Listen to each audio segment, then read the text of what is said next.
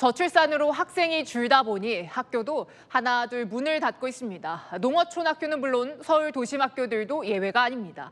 마땅한 활용법을 찾지 못해 장기간 방치되며 흉물이 되고 있습니다. 김태우 기자가 다시 가봤습니다.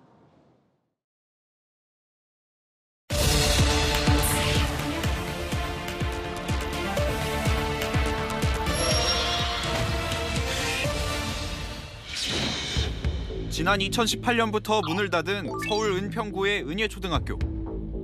학생 수 감소로 재정난을 겪다 결국 폐교 조치됐습니다. 6년이 지난 지금 어떤 모습인지 다시 가봤습니다. 학교 정문은 페인트가 벗겨지고 녹이 슬었습니다. 수의실도 사람의 손길이 닿은 지 오래인 듯 먼지가 쌓였습니다.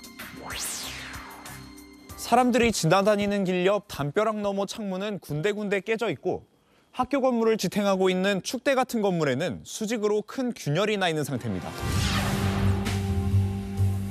인근 주민들은 오랫동안 비어있는 학교가 우범지대로 변할까 봐 걱정입니다.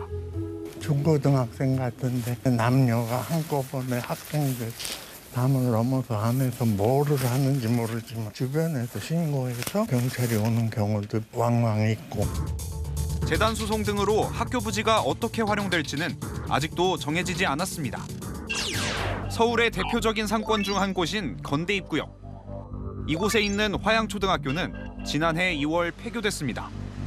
학생 수가 유지 정원을 못 채웠기 때문입니다. 학교 정문이 있던 곳에는 차단기가 설치됐고 아이들이 뛰어놀던 운동장 한 켠은 임시 주차장으로 변했습니다. 24시간 개방돼 주민들이 수시로 오가고 있지만 상주하며 학교를 관리하는 인원은 없습니다.